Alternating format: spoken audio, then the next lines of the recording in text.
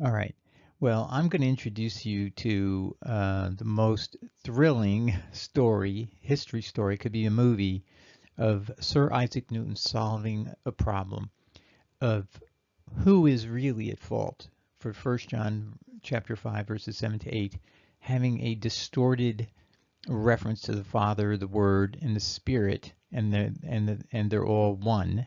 So it sounds exactly like the Trinity. Where did that come from? Okay, I'm going to just get to the punch so you can understand where it's all going. So um, this was in no Greek manuscripts. It was in no Latin versions other than the 405 AD Jerome Vulgate. And that's going to be important. Not not in, not in what they call the there was other lineages. The Ethiopic uh, Vulgate, so that's Latin even older. In all the manuscripts he he had accessible in uh, Latin in the Italian areas, all of them had not that not the not those words, and all the Greek manuscripts, and they were just marginal notes. And he's going to go through Sir Isaac Newton's going to go through all that. So how he's figured it out, he he puts all the evidence together and he tells you that while indeed uh, Erasmus relied upon being handed a translation of what was the Latin Vulgate, but he was told this is a Greek manuscript. You said you wanted a Greek manuscript, or you wouldn't put these words back in. The Father, the Word, and the and the Spirit are one. And so that's that's why he that's why Erasmus did it.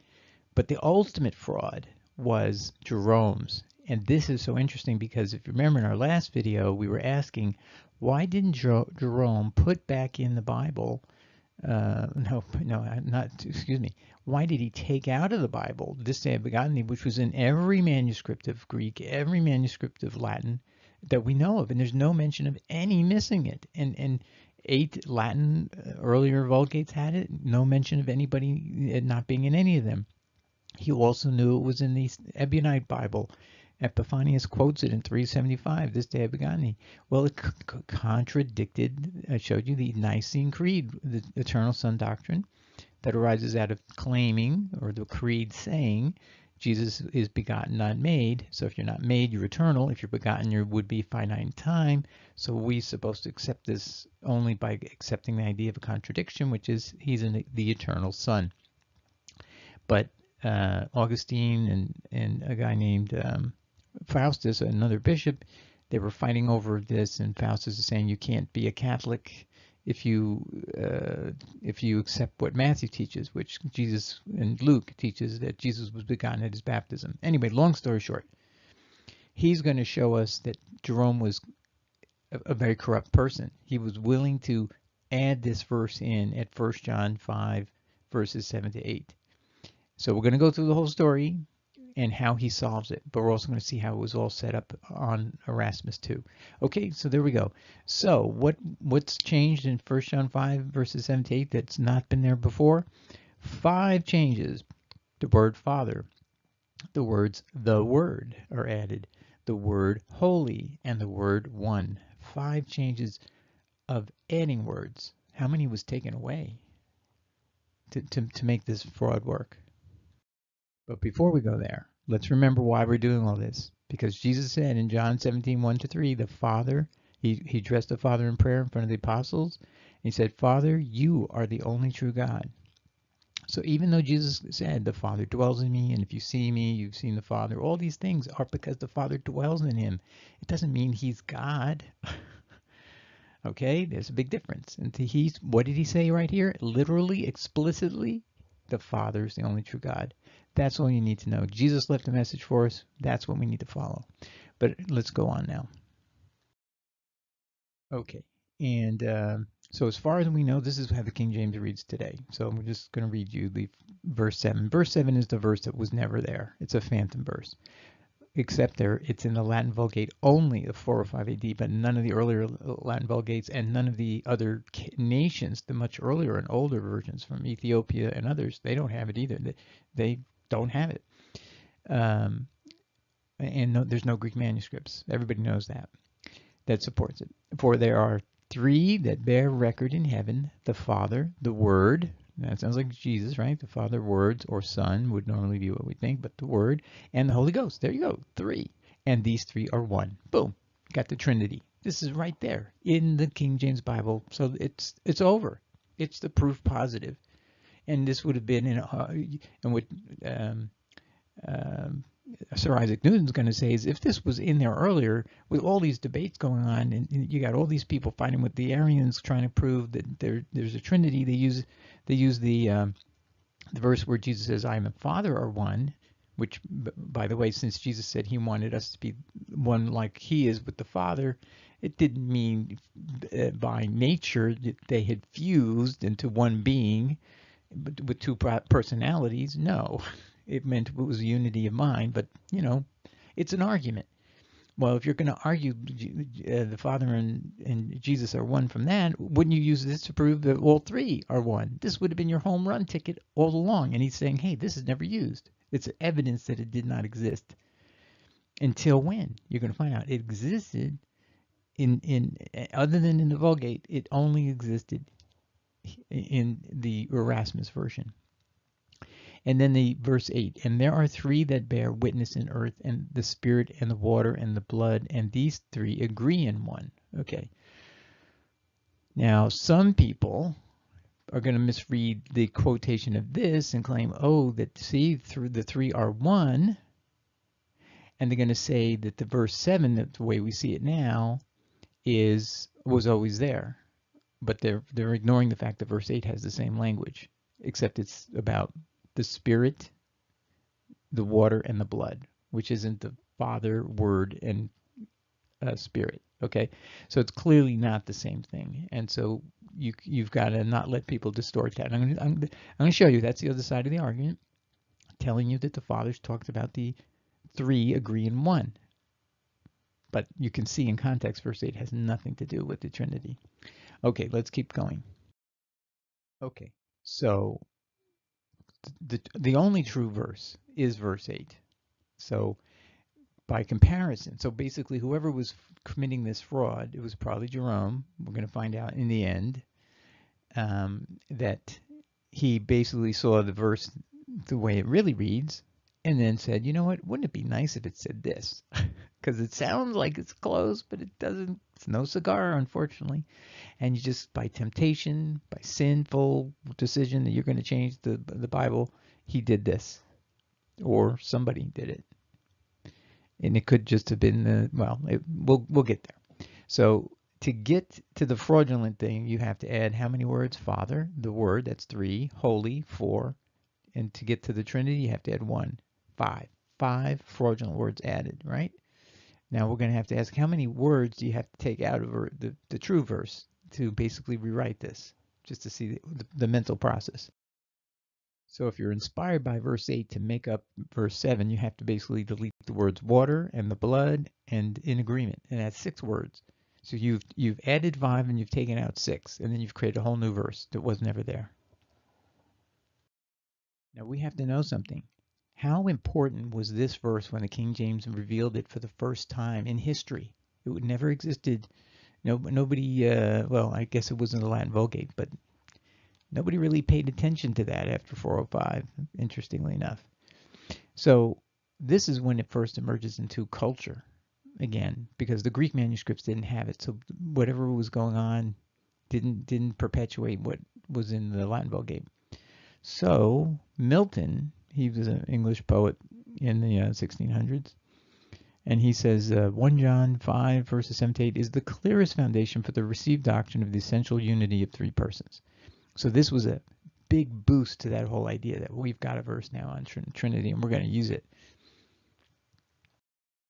But I think I've shown you that it, it depended having on five additions and six subtractions from the actual verse, verse 8. Um,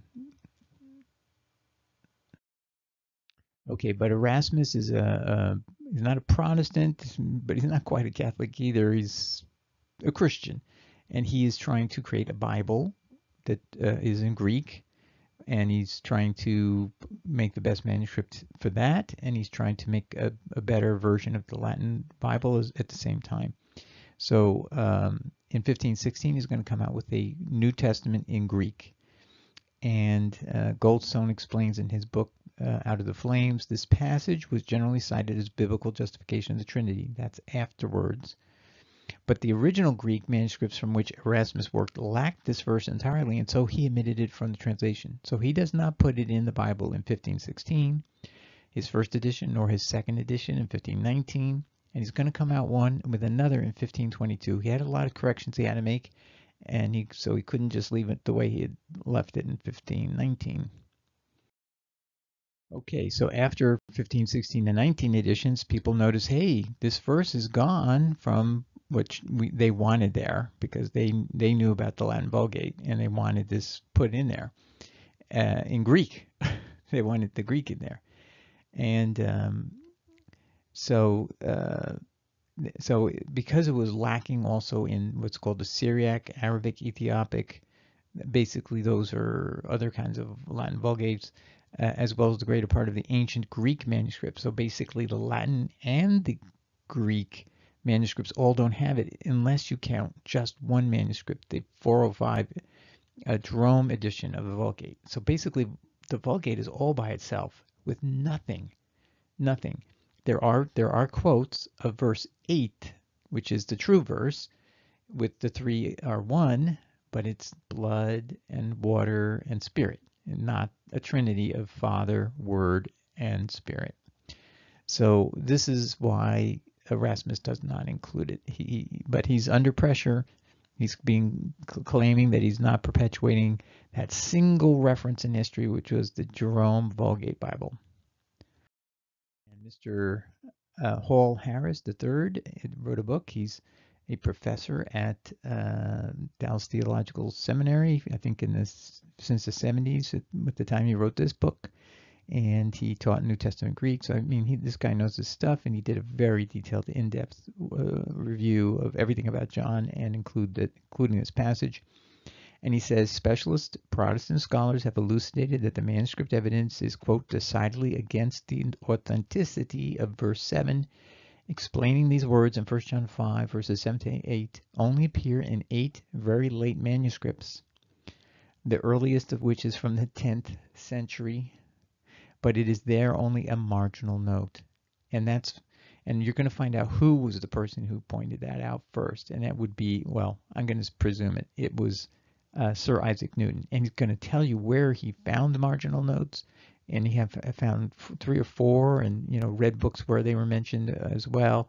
I mean, the guy, Sir Isaac Newton was a genius and he was a sleuth. He was not going to let this go I actually think this could be a great movie if you just knew how to put it together. It's like uh, one of those um, Brown movies about, you know, uh, archaeologists. Okay, anyway. Hence, one Christian scholar put it this way there is no sure evidence of this reading in any Greek manuscript until what? The 1500s. And what is the Greek manuscript? It was the one made to order when you'll see Erasmus is going to say to his friend, this colleague, this Catholic scholar, saying, "Hey, you got to put it in to your Greek New Testament that it was there." And he's going to say, "Show me a manuscript, or else I'm not going to put it in." I, there is no manuscripts in Greek, and one pro is produced, and we'll see where it really came from. Okay, and um, this is just an overview. We're going to get into this a little more detail later, but Erasmus offers to put back the words deleted from the verse. You know, this guy's claiming you've deleted, and he's saying it's not even there. If one could produce a Greek text with these words, you know, the Father, the Word, and, and the Spirit are one. The Trinitarian, Party rep was a Catholic scholar named Stunica, who obviously was schooled in pious frauds. He submitted to Erasmus a Greek text dated 1520, which purportedly was more ancient, and Erasmus accepted it. Which makes me kind of wonder was Erasmus fooled or just went along because he was getting a lot of heat for this. That is the story. Anyway, it was one more pious fraud or a fraud to which Erasmus suspected and still consented. We don't know. It would never have been uncovered unless, however, Sir Isaac Newton spoke up in 1690. So this is going to sit dead from 1522 when Erasmus puts it in until Mr. Sir Isaac Newton bashes it and crashes it. And that's when people found out this was a fraud. I want to read a couple of segments from uh, Professor Harris, uh, again, Dallas Theological Seminary professor, uh, because it's it's just he did very good work on how thorough he did this is very good. He's he's a little sleuth of himself. And he says these words, known as the comma Johanneum, Latin for joining sentence, are inserted between verses 7 and 8 and read as follows. Boom, boom, boom, boom, boom, boom, boom, boom, boom. In heaven, the Father, the Word, and the Holy Spirit, and these three are one. That's inside of 5 7. Then in 5 8, it says, and there are three that testify on earth. So that's the way it was then. Now it's all in verse 7. So they've been rearranging these verses around. Although the words are fairly well known in the English speaking world, primarily through their inclusion in the King James Version manuscript, and contextual evidence is decidedly against the authentic their authenticity. I'm not sure that sentence was punctuated properly, but anyway, he's saying the contextual evidence is against their authenticity. We'll go to the next slide. Okay, and then he says the longer reading, the one with this verse, is found only in eight late manuscripts, four of which have the words in a marginal note. Most of these manuscripts, gives the numbers and minor variations, originate from the 16th century the earliest manuscript codex, 221, is from the 10th century, which means like the 900s, including includes the reading in a marginal note added sometime after the original composition. So you can usually tell a marginal note wasn't done by the original guy. Thus, there is no sure evidence of this reading in any Greek manuscript until when? The 1500s. When was this being done? 1522. He's talking about the, the the document, he's going to go into it, by Stunica, who's going to hand it to him and say, hey, here it is, but it's probably fraud. It is a fraud. Okay. Each such reading was apparently composed after Erasmus' Greek New Testament was published in 1516. So basically saying it was written after Erasmus began his project, not before. Okay, and this is where he gets into uh, the the issue we're talking about. The story of how the longer reading was omitted from the first two editions of Erasmus's text, 1516, 1519, but came to be included in his later editions is well known. One of Erasmus's most vocal critics was Stunica, one of the editors of the Complutensian Polyglot, who charged that Erasmus' text lacked the Trinitarian affirmation of 1 John 5, verse 7 to 8 the passage currently under discussion. Erasmus responded that he had not found any Greek manuscript containing these words, but unwisely as it turned out, promised that if he were shown shown one, he would insert it. And I found another article uh, on this topic. Where did uh, 1 John 5, 7 to 8 come from? From www.storyofthebible.com, and they, they give more uh, details. Erasmus challenge, if you can find one Greek manuscript with this reading, I will include it in my third edition of the Greek, Greek text, or words to those effect. Later, James Lopez Stunica gave Erasmus a Greek manuscript with that reading, the only one ever found to include the phrase. That's the only Greek manuscript that ever had the phrase. Even though the manuscript is dated 1520, which means likely the phrase was inserted in the text as a translation from Latin.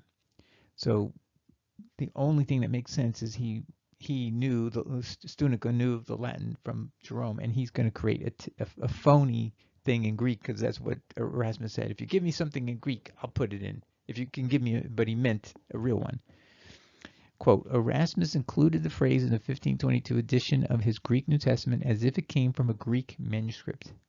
So he, he just, for better or worse, that's what he did. He accepted it. And because Beza at Geneva used the 1522 edition of Erasmus's New Testament to create the 1599 Geneva Bible, this is how it got into the King James Bible. Because Geneva is the center of Calvinism, Beza is a Calvinist, so the Calvinist Bible is called the 1599 Geneva Bible. So you've got two editors in chief in succession of the King James Bible, or both Calvinists. So they're going to go by Beza. And Beza had it in his Bible, and it's going to end up being in the King James. So that's kind of how it got there. But you can see what happens with Luther. He only had the 1519 edition of Erasmus, and this verse that you and I get to read in English is unknown to Germans and to basically Europeans or anyone who doesn't have an English Bible. So we we got defrauded on the people who who um, speak English. We got a fraudulent version, and the other people got one that was without that fraud. So really, the best you can say about why there's five new words and six deleted from a version of the second sentence in the, in the between seven and eight. Obviously, someone said, "I, I like the, the the structure of verse eight, and I'm going to just rewrite it so it's exactly speaking of the Trinity, like I would fantasize it should read." And these were marginal notes, and that meant people were saying, "Hey, can we interpret it this way?" And so they were writing marginal notes, and now it's going to become become a verse. And when that happens, you had to add five new words and you had to delete six. I just want to keep emphasizing so you can see how radically you have to change it. You have to rewrite it with your your dream, what you wish it said, which it doesn't say, and you have to do you got to do eight, 11 overhauls on one verse to get to say what, to get it to say what you want it to say. And here comes our hero. Yeah, it's, oh, it's about 80, almost 80 years later, 1690. And he basically says, um, you know, some heroic things I like here. He says, uh, There cannot be a better service done to the truth than to purge it of things spurious. And therefore, knowing your prudence, he's writing a person and he's complimenting the person. And Knowing your prudence and calmness of temper, I am confident I shall not offend you by telling you my pl- mind plainly, especially since 'tis no article of faith, no point of discipline, nothing but a criticism concerning a text of Scripture, which I am going to write about. And then, I mean, he's making it sound like it's, you know, it's just not much, and the work he put into it is unbelievable. This man had to be a superior genius, that, you know, and, and, and worked assiduously going from country to country to get all these documents. You you you have to. Sometimes people should just read something like this, and it puts puts me to shame. And people think, you know, you gotta. We're so blessed to have the internet. I gotta tell you. But he was he was his own internet. He was traveling all over to look at all the papers. Just amazing. Anyway, I want to read this then for father, uh, okay, so now he's going to tell us where the marginal notes are. And that's just important because you saw uh, Mr. Harris, the third the professor at theological, Dallas Theological, he's saying, hey, there's all these marginal notes. He goes through these in detail and, and he has extensive knowledge where these marginal notes are. So he's, he's on top of it. And he, it's not his day job. He's a scientist. He's a famous scientist. For Father Simon informs us that one of the manuscripts in the Library of, King, of the King of France marked number 2247 over against these words. So he's saying he's going to quote a passage and then over against them is going to be the marginal note, meaning on top. Over against these words, and then he tells you what the words are, and they are for there are three that bear record in earth spirit, the water, and the blood. So that's the real verse. There is this remark, and then it's the, the uh, marginal note, it's a remark, that is the Holy Ghost and the Father and he of himself. So someone is saying to themselves, verse 8 is really talking about the Father, Son, and Holy Spirit. Okay, and this is, um, okay, so let's continue though.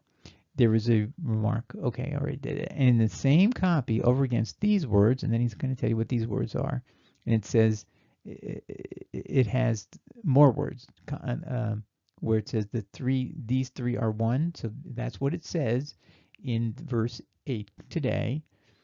Uh, this note is added and then he reads out the note and in that and it says when it says these three are one it's the margin note says that is one deity one god all right so you can see people are putting in margin notes what they think things mean it's like writing notes in your own bible that's all it is and you're free to do whatever you want, but you can't change the word of God. You can make your own comments to yourself. Nobody, there's no rule against that. He says this MS, this manuscript, is about 500 years old, which means he's writing in 1611. So he's saying this is from about 1100, 1100 AD. Also in the margin of one of the manuscripts, in Mons Colbert's library, number 871, look at the precision of this man. As the same father tells us there is the like remark, so remark means a note, a marginal note. For besides these words, and then he tells us what words they are in Greek, and it's where it says one God, one Godhead, there are added, and then he's going to tell us uh, in Greek, and then he's going to tell us in uh, English. It's talking about the testimony of God the Father, and let's go to the next slide. And it continues of the Holy Ghost. These marginal notes sufficiently show how the Greeks used to apply this text to the Trinity, and by consequence how the author of the disputation is to be understood. Now remember, these are very late, you know, 1100 and all that. But I should tell you also that the disputation was not written by Athanasius, somebody who lived in the 300s, but by a later author, and therefore, as a spurious piece, uses not to be uses not to be insisted upon. And it's a little unclear what he's trying to say. I think he says basically you cannot insist on using it because it's specious. You know, it's on a book that maybe the person's trying to look like they're Athanasius or something, or writing in uh, something that Athanasius wrote, and then goes on. And besides, this disputation was not writ by Athanasius, so there is sort of a repetition here. It was not writ by Athanasius, but by, but by a later author, and therefore a spurious piece uses not to be much insisted upon. I guess in those days they didn't have word processing, so they kind of just kind of leave it alone, or otherwise they have to rewrite a whole page of stuff. Now, please bear with me. I, I think you're going to find where this is going is kind of exciting, and the, the genius of this man, I hope I can convey it to you, is amazing to me. So then he's he's going to talk about the uh, now, this mystical application of the spirit, water, and blood to signify the Trinity. So he's basically saying somebody who's seeing these three things that are just spirit, water, and blood, but to them they see a mystical application. It's really talking about the Trinity. Seems to me have given, given occasion to somebody either fraudulently to insert the testimony of the three in heaven in express words meaning take your idea that it means the Trinity and you're going to expressly put it into the text for proving the Trinity, or else to note it in the margin of his book by way of an interpretation, which would be honest, legitimate, whence it might afterward creep into the text in transcribing. So that's what he's thinking, why people might put it in the note of, of what books aren't just your personal books. These are the books for the church. You shouldn't do that. You should keep them sacred but they were putting marginal notes to try to influence maybe the next commentator to think that that was what was intended and just put in what what this person's note said. That could be it. Okay, and the first upon record that inserted it is Jerome. Oh, so now he's hit the person he knows is most responsible for creating this problem. If the preface to the canonical epistles which pass under his name are his, for whilst he composed not a new translation of the New Testament, but only corrected the ancient vulgar Latin, as learned men think, and amongst his emendations or changes, written perhaps at first in the margin of his book, he inserted this testimony, and complains in his, his said preface how he was thereupon accused by some of the Latins, meaning Italians or Latin speakers, for falsifying the scripture and makes answer that the former Latin translators, basically the Vulgates of the past, uh, but that means vulgar tongue, the Latin tongue, uh, had much erred from the faith in putting only the spirit, water, and blood in their edition, and omitting the testimony of the three in heaven, whereby the Catholic faith is established by this defense. He seems to say that he corrected the vulgar Latin translation by the original Greek, and this is the great testimony which the text relies upon. So what he's saying is that the he believes that it, it, it didn't say what he put in there, which was the uh, Father, Word, and Spirit, and they are one. So see, he's he's saying that, and then he's trying to say, but it was he believes they didn't follow what the, was earlier texts, and Newton Newton is going to rip him apart about that. And here's Newton on Jerome and it gets really, really very uh, good.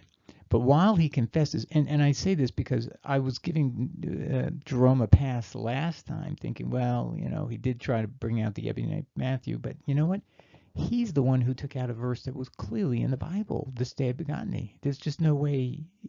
Now I have to conclude, based on what I'm reading here from uh, uh, Sir Isaac Newton, yes, he did that deliberately. So we're gonna maybe have to do a little uh, video on that later. But let's find out what he did to First John verse five, uh, chapter five, verse seven first. But while he confesses it was not in the Latin before, so he's saying it, he's he's admitting it wasn't in the Latin before he fixed it, and accuses former translators of falsifying scripture and omitting it. So he's claiming they they screwed up. They they saw it and they didn't put it in. Uh, he satisfies us that it has crept into the Latin since his time, and so cuts off all the authority of the present vulgar Latin for justifying it. So he's not claiming it's based on his current uh, Vulgate. So he's saying it was in there before, and this is how he's going to catch uh, Jerome in a lie, because you can disprove that if it doesn't exist at all before, then he he he's he's just trying to use his Jerome's just trying to use his weight to make you think it's there when it really isn't. It's like a, it's like mirrors, right? And while he was accused by his contemporaries, Jerome was accused by his contemporaries of falsifying the scripture in, ins in inserting this very passage, this accusation also confirms that he altered the public reading. For had the reading without this uh, Father, Word, Holy Ghost been dubious before he made it so, no man would have charged him with falsification for following either part. So in other words, if, if it had been there all along, why would people be accusing him of falsifying this text of this this specific verse? Also, while upon this accusation, he recommends the alteration by its usefulness for establishing the Catholic faith. So he's saying in reading the preface to the New Testament that Jerome did, Jerome is actually pointing right at this verse and saying this is you know, I've been accused of falsifying this, but by the way, this is very useful for establishing our Catholic faith. And he's saying, why would he say that? He's telling you why he lied, he, why he's putting it in there. It's good, it's useful. That, that's irrelevant, Jerome. It doesn't matter whether it's good or useful. It's what's true or not. And you can't put stuff in that you made up. And so he's catching him. He's catching him by people. People often will say something that will indicate they what why they're doing something and justifying it if you if you figure it out. This renders it the more suspected by discovering both the design of his making it. So, so he's saying now that we know why he's doing it, that lets us know he he is lying. He is the fraudulent party here. And the ground of his hoping for success. So he sees that this is going to be good, even though it's not true. It's not real. However, seeing he was thus accused by his contemporaries, it gives us just occasion to examine the business between him and his accusers.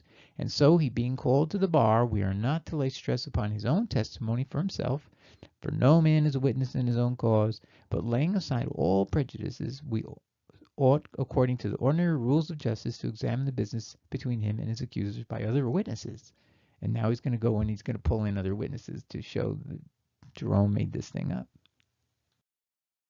Okay, and here he continues. They that have been con conversant in his writings, Jerome's writings, observe a strange liberty Jerome takes in asserting things. So now he's now he's doing a review of Jerome's quality of writing and thinking.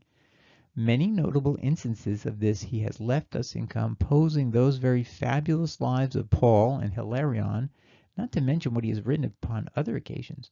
Once Erasmus said of him that he was in in affirming things frequently violent and impudent, and often contrary to himself. But I accuse him not. It's possible he might be sometimes imposed upon, or through inadvertency commits a mistake. Yet since his contemporaries accuse him, it's just we should it's just we should lay aside the prejudice of his great name and hear the cause impartially between them. So he's asking us, hey, we got to be fair. Let's let's do this by the book. Okay, so now the next one.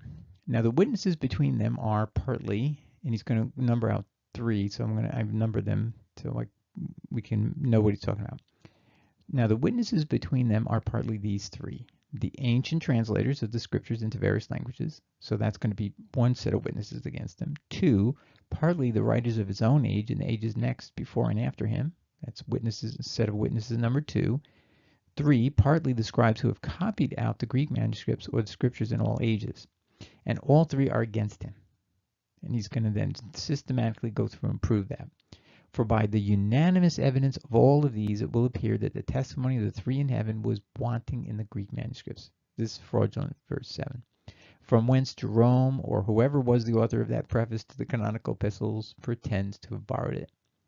So it's also kind of giving Jerome maybe an out, like maybe he didn't even write the preface, maybe, you know, so but uh, we we know he wrote it, of course. I, I hope, by the way, that the you you are enjoying seeing the mind that this great mind is going through this in a systematic way, leaving no stone unturned to find the culprit who forged something into the Bible because he loves the word. This man is not he, he has he's, he's trying to establish what is the word of God and not allow people to change the word of God. And if they do, they get caught because of the uh, the evidence here, this evidence, so that we can have um, we can safely restore the Bible. And that's actually, I think, this is why the commentators and most of the Bibles now will either omit this verse or put a, a, a footnote and say it's doubtful. Okay, let's continue. The ancient interpreters, which I cite as witnesses against him, Jerome, are chiefly the authors of the ancient vulgar Latin of the Syriac and the Ethiopic versions. And this is a very good point because these are older than the Italian versions because these, you know, Syria, Ethiopia, these were like in ancient times, the earlier Christians, and then the amount of Italian vulgar in Rome and all of that would have probably not been as uh, old. They would come they become later in time, and th these would be the earliest Christians. For as he tells us that the Latins omitted the testimony of the three in heaven. So he's saying Jerome's admitted that the Italian versions by on the Italian peninsula, they didn't have it. So now we have to look at these versions uh, from Syria and Ethiopia in their version before his time. So in the Syriac and Ethiopic versions, both of which Walton's account of them are much ancienter than Jerome's time, see, there's a proof of uh, some historian, being the versions which the Oriental and Ethiopic nations received from the beginning and generally used as the Latins did the Vulgar Latin, that that, that testimony is wanting to this day, meaning they don't they don't have any evidence of verse 7 either. And the authors of these three most ancient, most famous, and most received versions, by omitting it, Let's see what it says next. By omitting it are concurrent witnesses that they found it wanting in the original Greek manuscripts of their times. Tis wanting also, uh, so I guess he's talking about the Ethiopic and um, Syrian Greek manuscripts. So I thought he was talking about Latin, but anyway, same difference. These are earlier Christians than the Italian Peninsula Christians. All right, so he's saying it's missing in these Ethiopic, Ethiopic and Syrian manuscripts too, and they're earlier in time.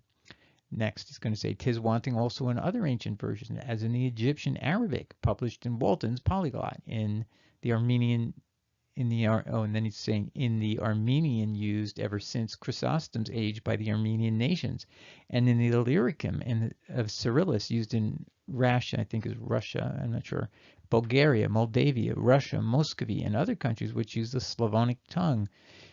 I mean, can you see how extensive his knowledge is? He, he apparently has researched all this stuff. I just it boggles the mind. In a copy of this version printed at Ostrob in Volhynia in the year 1581, I've seen it wanting. He, he's actually seen this book. Can you believe this? How did he get this? He must have traveled to Ostrob in Volhynia.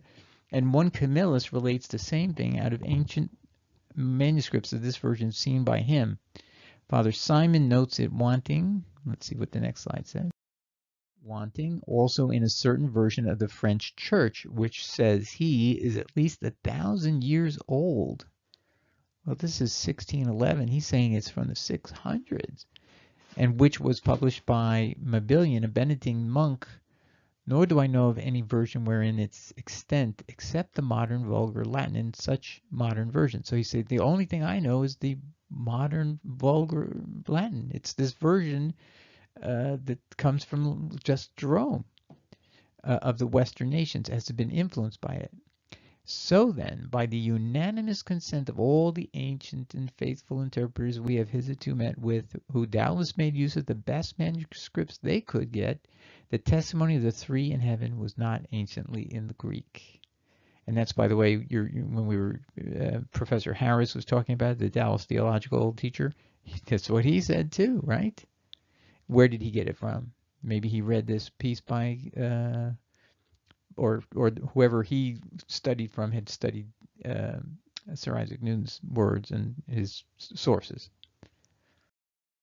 Okay, this the story gets better, so don't don't think uh, don't jump away just yet and that it was neither in the ancient versions nor in the Greek, but was wholly unknown to the first churches is most certain by an argument hinted above, and this is important, namely that in all the vehement, universal, and lasting controversy about the Trinity in Jerome's time and both before and long enough after it, this text of the three in heaven was never thought of.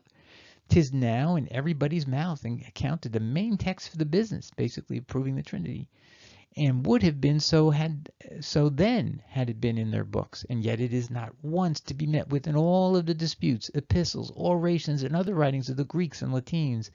And then get this, he's going to now list every source that he's aware of, which means this man has an encyclopedic memory and he reads all these things. So listen to what he cites as all the proof that he knows doesn't have this reference of to to verse 7. The Alexander of Alexandria, Athanasius, the Council of Sardica, and go to the next slide. Continuing, Basil, Nazianzen, Nyssen, Epiphanius, Chrysostom, Cyril, Theodoret, Hilary, Ambrose, Austin, Victorinus, Afer, Philastrius, Bruxianus, Fab, Fab, Fabadius Adjugentus, I can't say all these things, Gregorius Batacus, Faustinus Diaconus, Pascasius, Arnobius Jr., Cyrillus, and others. In the time of those controversies, so he's saying, look at all these people. I'm familiar with all of them, and I'm telling you, they've never said anything about this verse. And wouldn't they have used it to win their debates or make a point? Because it's what? It says Father, Word, Holy Spirit, and these three are one. You win the case. It's right there. Why wouldn't they use it? Perfect argument, a conclusive killer. No, not in Jerome himself is the, is if his version and preface to the canonical epistles be accepted.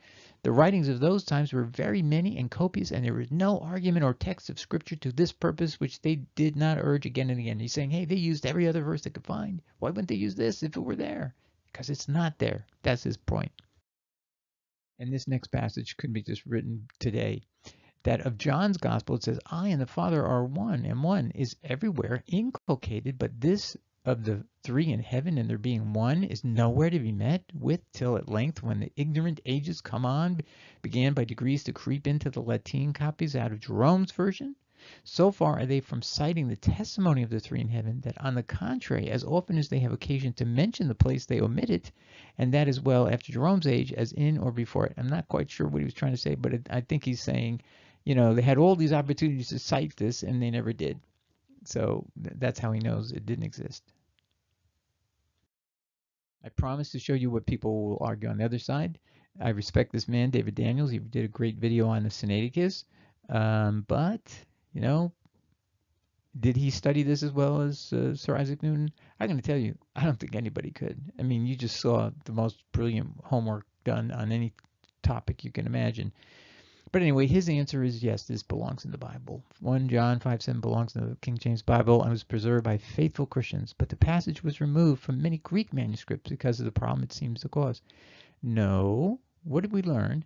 It's in no Greek manuscript, not one.